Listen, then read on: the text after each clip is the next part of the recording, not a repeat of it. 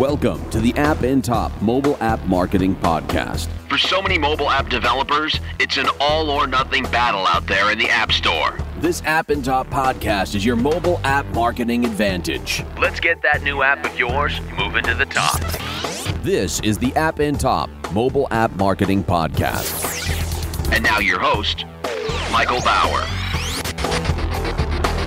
Welcome, welcome. This is the App in Top Mobile App Marketing Podcast. This podcast is produced by appintop.com. You can find our daily blog at blog.appintop.com and also track us down at Facebook, facebook.com slash appintop. And if you are a member of the Twitterverse, then feel free to hit us up at any moment at appintop underscore com, appintop underscore com.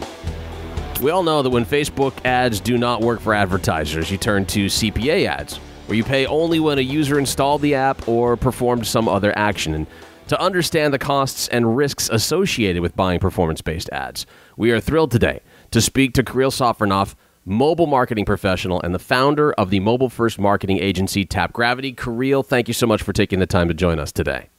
Thanks for having me. Great to be here. Now we know there's a lot of demand for performance-based ads in mobile in the mobile industry. The most common one is paying per install. Can you walk us through what kind of performance ads are available to mobile advertisers?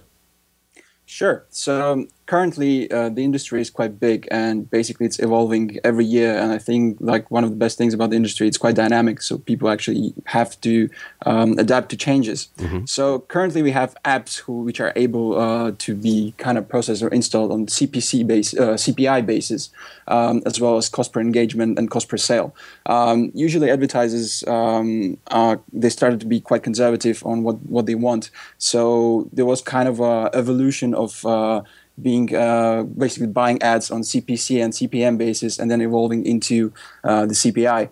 Uh, besides that, there's as well uh, mobile content offers, which basically advertisers are trying to uh, get users to somehow uh, submit any forms. So there is a single opt-in apps ads which are basically you have to submit. Um, uh, a certain form or an email, mm-hmm. um, and whenever you submit it, like you have a conversion, and the advertiser pay the publisher for it. Um, another variation of it is uh, double opt-in, uh, where you basically have to confirm uh, the email. Um, and then basically the conversion happens. Um, what is really hot right now, um, there is it's actually quite a new thing, and obviously mobile is like one of the best things to do so is pay per call. Okay. So basically, uh, it's quite a local advertising where uh, people are actually getting getting conversions or they're getting built uh, when whenever there is like a call happening and whenever you stay on a call let's say if you're an insurance company um, you basically have an offer um, and some of the affiliate marketeers basically uh, redirect somebody to a pay per call he calls and he, he stays on a call for one minute or more there is a conversion and you get paid Wow. So then that's exclusive to the mobile marketing world here. That sounds that sounds like a pretty aggressive approach. I like that yeah um, like besides that like i said like the market is evolving. So every time we see like different models uh, there is even a hybrid model which basically um, combines several things like uh, cost per install um, basically get paid first time. And then if user for instance reaches the level 5 in the game uh, you get paid the second time. Um, it's quite rare uh, recently but it happens and i promoted certain offers for a while. Um, although advertisers are still kind of yeah i mean researching what works best. And yeah Kirill, let me ask you this: as it's as, as it is evolving, uh, what are you seeing sort of fall by the wayside? What right now is one thing that that you're seeing in the mobile advertising area that sort of no one's touching anymore, or it seems to have it's got its it's going to have its place in the Hall of Fame, but nobody's using it right now.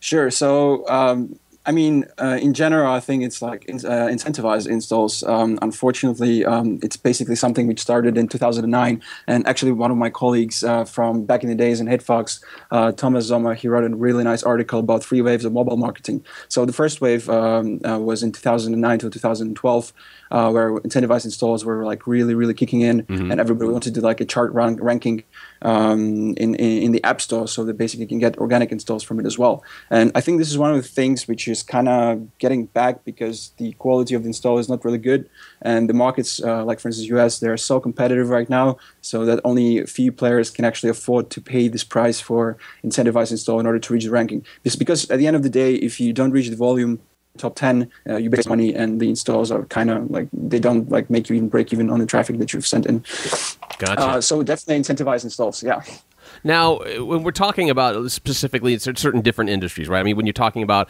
uh, a cost of paying users for games, for travel, for dating, what industry pays most per quality user? So um, I think dating is really specific because um, it's a bit easier to monetize dating. Um, I mean, at the end of the day, it actually really depends on the country um, or, basically OS device. Um, in general, dating pays a bit more. Um, otherwise, games um, and something on the lower tiers, basically, basically utilities. Gotcha. What about uh, uh, there are actually as well um, kind of like price outliers, so you always can find an extreme. So, for instance, there are games who, which pay only um, 30 cents because advertisers already have data uh, that their users are not paying too much in the game, so they basically put the, the price a bit lower than it's usual. Gotcha. Uh, when you take a look at that, do you find in, in situations like travel or automotive, are you seeing an upswing any place? Obviously, like you said, dating's pretty streamlined and it, it's very focused. Uh, are you seeing an upswing in any particular industry? Uh, well, gaming works pretty well. Um, sure. Uh, on the other hand, on the other hand, basically, gaming advertisers are really sophisticated. So they've been a while in the market. Um, they know what what their paying users are like. So they usually kind of cap the volume that you can actually uh, achieve uh, with gaming apps, um, and it's not that easy to promote. So currently, the biggest upswing I see is uh, in utilities, and most of the affiliate marketeers will probably confirm that. So like basically companies which are turned out to be uh, really, really successful with utility apps like Cheetah Mobile, which is currently quoting on the stock market. Um, they've basically been really successful because they kind of created a new kind of market for utilities um, and been promoting antiviruses for a while. Uh, besides that, as well, um, banking and automotive, um, they're not so much into um, app installs so far. Mm-hmm. Uh, in general, they promote some kind of like uh, sweepstakes offers or something like you can win a car, but you know, they're still kind of lacking of uh, like mobile, let's say, promotion strategies. And I don't see so much of upswing over there. Although, as well, like uh, if you have really, really relevant traffic for, say, finance, for instance, you're owning a website which has a lot of mobile traffic, you can really monetize it really well. Uh, let's say on the offers, uh, not only mobile, but as well, like in general, in the past, people which are having basically comparing quotes in a certain websites, uh, when the traffic is really relevant, uh, you usually can have like really good uh, quality. Um, so because users are actually paying, because still financial institutions uh, usually make cost per sale or make a commission on a purchase of a insurance or a car. Doesn't matter. He is uh, Kirill Sofronov, the mobile marketing professional, founder of mobile first marketing agency Tap Gravity. What is the market capacity for quality users for games, travel, and entertainment. When you're when you're paying per install and when you pay per other action, say a purchase. Right. So, um, well, consider that there are like one two billion smartphones and tablets uh, in the world mm-hmm. or users who are using using these kind of devices. So the opportunity is really enormous. Um, in general, it's uh, for for both type of type of um, let's say user flows or cost per install, cost per sale. Uh, the market is still big and it's still really evolving. Um, on the other hand, you, you, always have to consider that there are more sides to the business. So there are advertisers who are giving budgets for a certain type of offer. Um, then there are affiliate networks who are distributing those offers, and then there are affiliates who actually have to uh, make their bread and butter every day and they don't like CPS offers because it's much sure. tougher to buy traffic, let's say, and make uh, make conversions and installs basically, or basically purchases on uh, on a bot traffic. It has to be really relevant in order to be successful. So um, in general, capacity is really huge and it's increasing every day. Uh, but it's it's uh, for certain kind of offers, it's really hard. Um, CPI installs probably or organic CPR installs are still the default uh, uh, thing on the market right now. For mobile commerce, can a mobile advertiser pay per order, transaction, if you will? Will that work technically? Um, it can. Uh, they usually actually they started to do it uh, because sometimes when apps are not very successful on CPI, uh, they try to integrate more model which actually works for the advertiser, so they don't have to overpay um, the networks or affiliates or publishers. Right. So basically, um, technically, it works that there is a possibility to send a device ID on a click. Um, and attribution analytics and tracking platforms can do device ID based attribution, which lasts around seven days. Um, for instance, one of the companies I work with closely just uh, does, does just that. Um, I actually usually highly recommend it to the clients because they can track most of the attributions, such as the sale as well. Um, Are there risks involved with that? Yeah, I mean, in general, actually, the risks are more on the publisher side um, as well. Like when it says performance marketing uh, for the advertisers, it's really uh, profitable, or basically, it makes, makes much more sense. But for publishers, sometimes it's really hard to make a profit in certain offers. So basically, they have to buy a lot of data. For instance, if you have an offer for, say, which pays uh, fifty dollars they have to spend a lot of money to gain a lot of data to get conversions to see like what kind of devices convert and usually you have to spend a lot of money to see if it actually works and usually it actually doesn't wow okay uh, what happens if in, in let's say if it's uh, on the the per transaction order. Uh, what happens if a customer returns the order, and and and what do you do at that point? Because you're counting on the transaction being a big part of the business. Sure. Uh, so if purchase is a commission type of a deal, which actually usually is, yeah. Uh, so depending on the product price, they might give you commission in the range of I don't know one to twenty percent. But then again, um, commerce still promoted on a CPI basis. When it comes to returns, uh, usually specified in insertion orders. So it really depends on the advertiser. Um, in general, they might take the risk by themselves and they make no refund policy on commissions. Mm-hmm. Uh, on the other hand, it might it might happen that basically they say, okay, if uh, there is a refund, uh, we're going to charge you back on a on whatever basically has been refunded. We're talking with uh, Kirill Sofronov, uh, Tap Gravity, and we're finding out information on the cost of performance based ads. When, when a game publisher buys guaranteed installs from the marketing agency, how does pricing and conditions look like? Um, well, uh, I mean, are there are there risks of paying higher price per install? Uh, definitely. I mean, in general, usually um, advertisers already have established a certain base for installs, already have some data, what works, what doesn't. So for them, if it's uh, an unsophisticated advertiser and he's just starting a user acquisition, um, for them, usually it makes sense to, let's say, test out like uh, a certain price range uh, in a certain country. And basically, the agency, like Tap Gravity or any other network, will give them feedback in a certain while uh, if it works or it doesn't. So uh, basically, they're sending them data like uh, sub IDs or basically numbers um, of publishers that actually work, and advertiser gives back the feedback if the, the installs are quality or non-quality. Uh, so at the end of the day, it basically it comes to a communication between two parties. Um, what actually works and what doesn't. Uh, so there are a lot of like uh, many, many companies currently are doing um, like say technology products uh, which are optimizing um, the installs uh, on the LTV basis, so lifetime value um, because it becomes kind of like a standard in the industry so that basically people do not overpay for their installs. Mm-hmm. Um, that's why it kind of minimizes and mitigates the risk of actually doing or basically being pro- uh, unprofitable on the campaigns for the affiliate networks. Gotcha. When we return here at the App in Top podcast, we will talk about CPI installs and burst campaigns and the strategies behind each with Kirill Sofronov, mobile marketing professional and the founder of the mobile first marketing agency Tap Gravity. That's seconds away here on the App in Top podcasts. This podcast is produced with support from App in Top, an automated mobile app marketing platform in App Store and Google Play.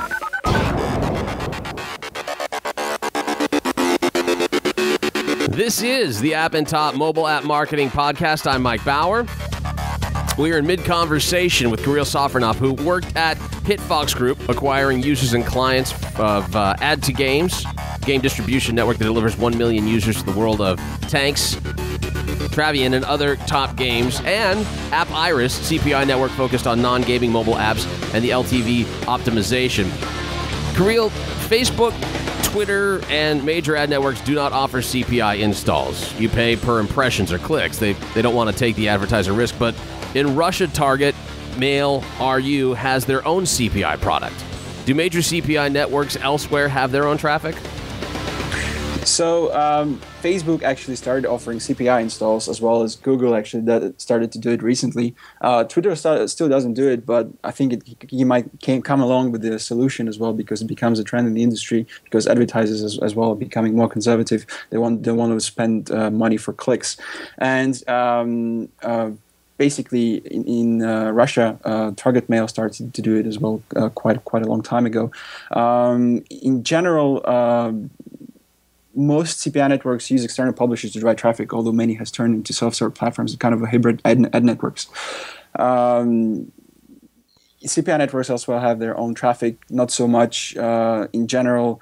Uh, basically, CPI network usually only uh, aggregates all the publishers in order to drive installs for the advertiser. Mm-hmm. So um, not so much. Like CPI networks usually came along because no, none of the bigger players actually offered the solution, and it become became uh, industry standard recently. That's why most of the bigger players are actually coming coming along and trying to do the same product. Unfortunately, the prices on say Facebook and Google recently are quite still quite high. So sometimes it doesn't make sense for advertisers to, to pay such a big price.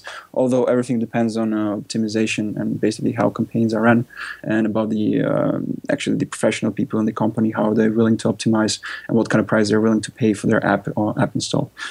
Kirill, when you're when you're looking at advertisers that are getting a little bit more picky and and and possibly even uh, making sure that they're getting quality people clicking through, how can a CPI network manage a risk and still make a profit in that kind of a world?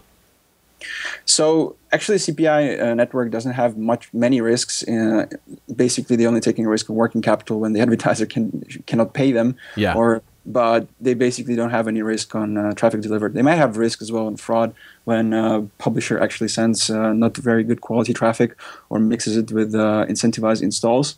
Um, on the other hand, um, they don't do CPC or CPM models, so they usually don't have any risk. Although uh, recently many uh, affiliate networks started to have their own media buying teams internally, uh, which are currently buying traffic as well. So they have a lot of insights which offers are working for their affiliates. So basically, they have an advantage in the market um, in a way that uh, they can actually promote their apps with 100% margin or basically without any margin at all. How does the cost of mobile web traffic compare with CPI and mobile apps? Um, well, actually, mobile is still quite rare in certain countries, so it really depends. Um, but uh, in general, uh, web and CPI offers, uh, web and app offers can be. Um, it, it really depends. Yeah, I mean, in, in general, uh, traffic can be really really similar but it, there are, the thing is like there are certain extremes in all, all of the parts of, of the prices mm-hmm. um, and i think web and mobile traffic became really comparable lately i mean in certain traffic on certain traffic sources mobile can be even uh, more expensive depends on really on the country so it's on. It's really on a case by case kind of basis at this point, in, until exactly. mobile kind of catches up, if you will. Definitely. The thing is, mobile is still growing, but before it was really rare. It was quite expensive uh, because mobile traffic is, was there for a while. So if you have premium inventory, you always have to pay like a lot in, in order to actually uh, get the traffic from sites like um, uh, yellow yellow pages or yellow newspapers, for instance, mm-hmm. which still promote things on CPM basis. Um, if you go for pop-unders, for instance, the price are, is super super low. So it really depends on the source of traffic and in general, a case by case study as mentioned. Uh, the cheapest users on the market come from incentivized installs. We've already talked about that. So when a CPI network optimizes its profit, the most profitable strategy is to buy incentivized installs and sell them as non incentivized at a premium price. What's the risk of buying incentivized installs from any of those CPI networks? Um, well, generally it's actually classified as a breach of insertion order where advertisers usually specify what kind of installs they want otherwise cpi network won't be paid so for the network, it's a risk as it's hard to control publishers when they're mixing traffic. Um, it's actually quite hard to control. Um, but in general, as I said, it's usually about the communication between the advertiser and the uh, and the and the CPI network because um, it's actually like a lose lose situation. You lose a client and basically you won't get paid. Right. Uh, Everybody so, loses. Exactly. So CPI networks usually make it um, quite trying to make it quite transparent, like where the traffic is coming from. Although there are also always cases when you have to scrap certain amount of budget because certain publishers were not basically deliver, delivering the quality that they actually asked for. Um, otherwise, yeah, many many many many CPI networks are trying to develop, let's say, certain uh, fraud algorithms or certain fraud rules um, inside the company so that these cases don't happen. So speak to me like I'm, I'm an, a mobile ad buyer. How do I get to check the quality of the traffic that's coming through? So, well, usually if you're an ad buyer, you basically have to comply with the insertion order or basically the rules which uh, if net, uh, affiliate network is giving you an offer. Um, so whenever there is an offer saying you cannot send any adult traffic, you definitely cannot use the uh, ad networks which are sending this kind of Good traffic. point, yeah. Um, on the other hand, most of the people actually started to as well um, forbid the incentivized installs because it's just non-quality traffic.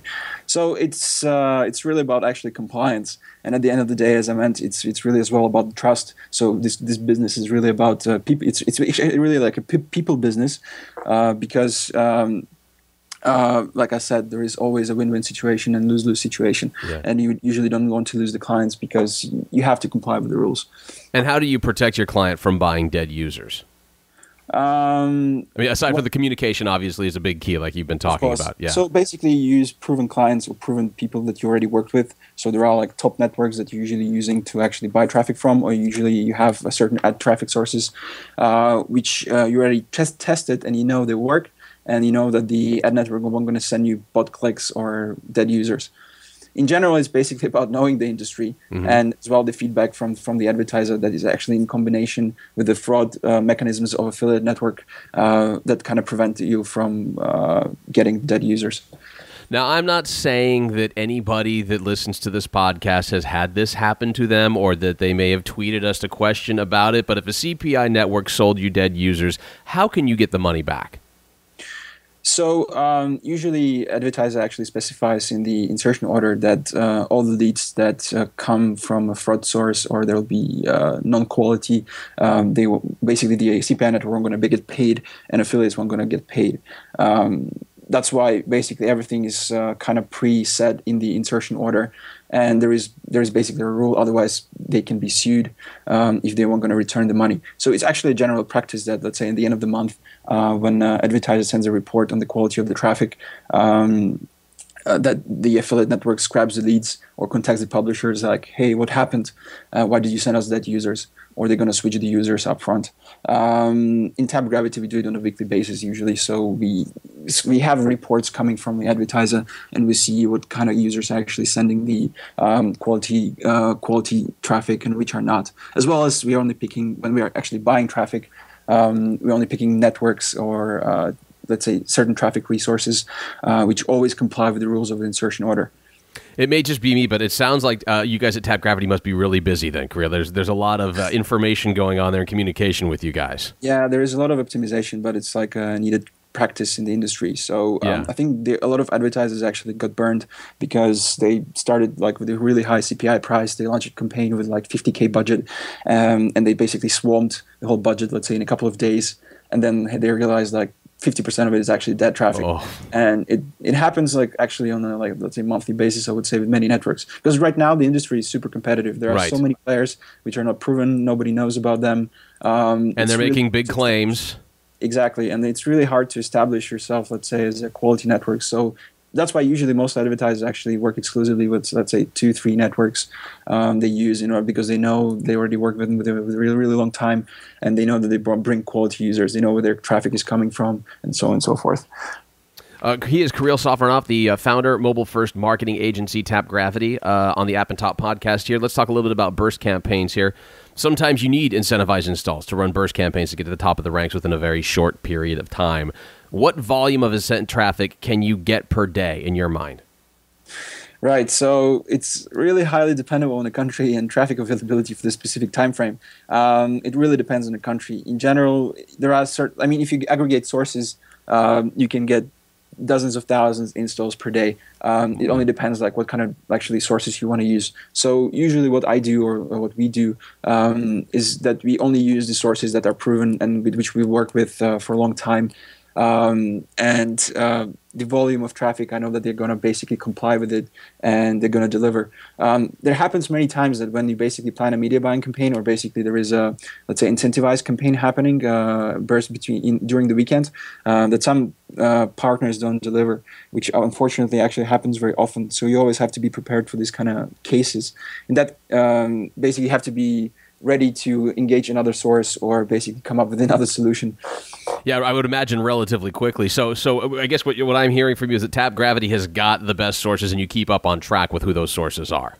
Definitely. So in general, I've been in the industry for the last two years. So I basically know most of the people who are actually working in the industry. So whenever I need, let's say, or I have a client who needs a burst campaign during the weekend, um, I basically call out the sources. We prepare like kind of a research, um, what, what kind of volume we can actually deliver during that time.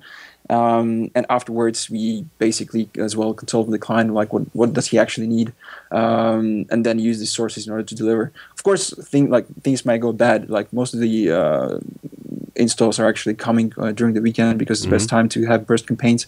Um, so you know, uh, um, like managers who actually my contacts in those networks might be out uh, during the weekend, and uh, usually have to basically be active all the time in order to monitor the campaign and deliver it as, as, as, as big as possible. Now, for example, one of uh, its burst campaigns, Wooga worked with 23 ad sources. Give us some examples of ad networks advertisers should work with.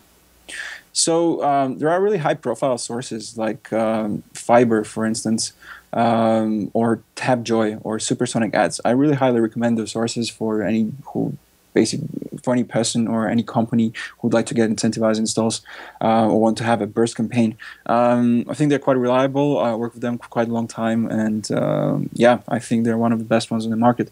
On the other hand, there are other sources which are not that high profile but can work as well. But at the end of the day, I think it, everything comes to experience. So, uh, in general, if you have worked with the source which worked quite well, you should be st- you should be still continue working with them and see if you can test others, for instance, when there is a chance. Kirill, do you have any, let's say a mobile marketing agency wants to implement a burst campaign, do you have any advice for them? How many hours does it take to prepare, all that kind of stuff? What, what are the most time consuming and, and what should go into play advice wise from you in regards to a burst campaign? Yeah, so um, in general, it's actually a bit time consuming because you need to prepare, you need to talk to the client. Uh, basically, we would start speaking about date, volume, price, uh, geos, what kind of countries we're going to run in, as well as goals of the campaign and relevant KPIs that we'd like to achieve. Um, in general, it takes several days to prepare a campaign because sometimes uh, some uh, sources might have, uh, let's say, full traffic. so mm-hmm. basically, they already have been running the campaigns and won't have the availability in a certain geo. So I would definitely uh, recommend to prepare the burst campaign at least several days or best best case scenario two weeks in advance, because there is more. Basically, the more time there is, there is a bigger opportunity of success. Yeah, it's certainly uh, going forward that you want to have that. Think about the success opportunity and giving yourself plenty of time. The last thing you want to do is wing it and then go, where did all the success go to? Why didn't we have enough time to make this happen? Uh, Kirill, here's what we're going to do when we return. So we've planned our burst, but you want to go global, right? You're thinking about the global launch. What is it you should keep in mind when selecting countries? With Kirill Sofronov, founder of the mobile first marketing agency Tap Gravity, coming back in seconds here on the App in Top podcast. This podcast is produced with support from App an automated mobile app marketing platform in App Store and Google Play. This indeed is the App in Top Mobile App Marketing Podcast. I'm Michael Bauer, your host. We would love to hear from you with any thoughts, questions. Send us your comments via Facebook at facebook.com slash app and top or tweet us your questions, comments, and thoughts at appintop underscore com. Appintop underscore com. Now, if you're looking to understand the costs and risks associated with buying performance based ads, App in Top Mobile App Marketing Podcast guest today is Kirill Sofronov, mobile marketing professional and the founder of the mobile first marketing agency Tap Gravity. He knows a thing or two about it. So, Kirill, on a global scale, what should mobile developers keep in mind when selecting countries for a global launch? So uh, they should definitely consider the geos and the countries. Um, in general, most of the people want to launch in US because it's the most quality market. Uh, there are a lot of users, uh, but at the end of the day, it's really, really competitive. So recently, a lot of advertisers turned into emerging markets like Brazil or Russia. I think those markets are kind of emerging right now. Mm-hmm. Uh, they're really big. There are a lot of quality users who are willing to pay in their apps, and there is something uh, to win big there. Um, basically. Um, in general, of course, the pricing as well will be much higher in the US than, let's say, in Thailand. Uh, it's like uh, everywhere there is a, there is an opportunity. It's just a matter of what kind of users we'd like to engage in and what kind of markets are our core markets. Um, US is actually really non-recommendable currently because there is a lot of uh, going on there. There are a lot of apps launching, and I was going to say quite a flood going on in the US right now. Yeah, there is. You need a lot of budget actually. and Only a few players in the market can actually afford it. So if you divide the let's say the clients uh, by um, the ones, the big players who have a lot of money. They can, of course, launch burst campaigns. But for the developer who only just started and basically he developed his, his first game, uh, the user acquisition in US doesn't make sense, or at least on burst basis. So in general, I would really recommend to start with the organic installs and start small to see what the quality is, and basically keep communicating with the um, agency or um, a network in order to see um, uh, how can you increase the, the volume or how can you increase the quality Now, Kirill, one other question I have for you, sort of the back end of that one is what's one thing that mobile developers should avoid when it comes to a global launch? So definitely avoid shady networks. Yes, yes. shady, shady clients or shady, shady, shady people. So, like I said, the industry is booming, and there are a lot of players um, trying to engage in the market. What right now is happening is there's, there's a lot of rebrokering. So, for instance, uh, Supercell, Supercell uh, stopped working with Appia because they were rebrokering some traffic, unfortunately, and that's what happening because that's what's happening in the market because there are so many players. They don't have um, contact with direct advertisers, so they take the offer and they rebroke it within other networks, and basically there's, there is a huge chaos. There was a case study actually happened to me um, when I was still working in HitFox. So we had a burst campaign, and we basically engaged like five networks, and the campaign came along like through so many sources that actually it come back came back to me, and somebody basically offered me the same campaign that we were actually kind of promoting, and I was like, hey, what the hell, like on. You, you cannot rebroker. Right. So in general, I would basically avoid uh, networks and agencies without any reference or when nobody is actually talking about. Um, otherwise, you won't basically know where their traffic is coming from. Although they can bring some installs, uh, it definitely depends on the budget. If you don't care about the quality and you only need uh, like any traffic whatsoever, of course you can engage with any any kind of player in the market. But in general, just basically keep in mind uh, who you're working with. Now, you mentioned that it's pricey to, to get into the U.S. market. What, what kind of budget would you be talking about to get, uh, say, to the top ten ranks of the U.S. gaming category? What should you What should you have aside and ready to write a check for in order to do that? Right. So, well, it's it's, it's a really, lot. I know that, right? Uh, it's like I think you have to have at least fifty thousand installs per day plus in order to get to the ten ranks daily. That means you have to run for a couple of days with this kind of amount of installs in order to become the or come to the top 10 ranks. It would cost you seriously like thousands, like dozens of thousands of dollars, uh, if not hundreds of thousands of dollars to actually achieve that kind of a success. That's why I mentioned that only big players usually use the burst campaigns in order to get the traffic because not actually many developers can uh, can afford it. But at the end of the day, there are like there are many products currently in the market uh, which allow you to, to like to small developers to actually do uh, certain user acquisition efforts uh, for a smaller price and uh, they're organic because at the end of the day uh, burst campaigns they're good for a certain like amount of time mm-hmm. i think from statistic i read a long time ago uh, for each uh, incentivized um, app install that you get you get probably around 50 0.50 um, of organic user let's say because they see the app they're going to install mm-hmm. so in general, like the virality factor is not that big, and um, it makes sense really if you have a big budget. But uh, for smaller developers, which is uh, actually a majority of the app stores, um, doesn't make much, much much sense. Our last question for you Kirill. Um, why should an advertiser go to a marketing agency? Uh, who is your typical client? And then, when you're thinking about it from that perspective, uh, what are what what should somebody be expecting to pay? Sure. So TapGravity's main focus um, basically are advertisers who don't have enough manpower to deal with 30 plus networks as well as know-how or experience with user acquisition. Mm-hmm. But we as well work with clients who just need additional volume to their current mobile marketing activities. So currently there are kind of two business models. Uh, one is where I was talking about basically the whole podcast, um, which is basically an agency model where I have direct advertisers and we consult them and helping them achieve their goals and revenues. Um, the other model is like we do our own media buying. So we basically work with variety of uh, uh, ad networks and drive installs to their office by buying traffic on CPC and CPM, CPM model. And we basically risk our own money to get our own return on investment, let's say, and arbitrage. Um, in general, the fees for agencies, uh, agency model is around 10 to 15% uh, on the CPI uh, or on the budget. Uh, in terms of media buying, we just usually take the offer from the affiliate network or advertise directly and start buying on the um, on the uh, on the ad networks, or just basically do both models combined.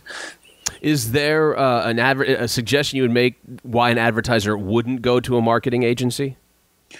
Um, usually, actually not. But like, if somebody wants to try, like, generally media buying, they usually just go through affiliate network and buy them themselves. So there are many affiliate affiliate guys out there, and it, the affiliate world is quite huge. So if if you're starting, I mean, it doesn't make sense to actually go to the agency. Uh, but sometimes, like, if you really want to, if you don't, if you really don't have an experience. Mm-hmm uh, I think it makes sense to consult first. I mean, we don't we don't take any money for consultation or at least first consultation, uh, and we can give you all the information you need to start on. Gotcha. So if it, no matter what, if you're starting, Tap Gravity is a great place to start out, to look at and to have a discussion with, and then make your decision based upon there, see if it's financially feasible for you. But also just thinking of, again, the hours, the man work, and the communication that you guys put in uh, for the feedback aspect is fantastic. So um, there, it's there for you. Talk to them about it, and then make your decision going forward. Listen, Kirill, thank you so much for taking the time today. For the past 30 minutes, you've walked us through the sometimes wild world of performance based mobile ads. You gave us the things we needed to know about the cost, traffic concerns, and what burst campaigns can do for you. Uh, officially, you are now free to go. Thank you so much, sir. Thank you so much. Thank you for having me. And to all of you, thank you very much for listening. This has been the App in Top Mobile App Marketing Podcast. Make sure you visit our daily blog at blog.appintop.com where you can find all this great information and much, much more every single day. Until next time, I'm Mike Bauer. See ya. The App in Top Mobile App Marketing Podcast is produced by appintop.com.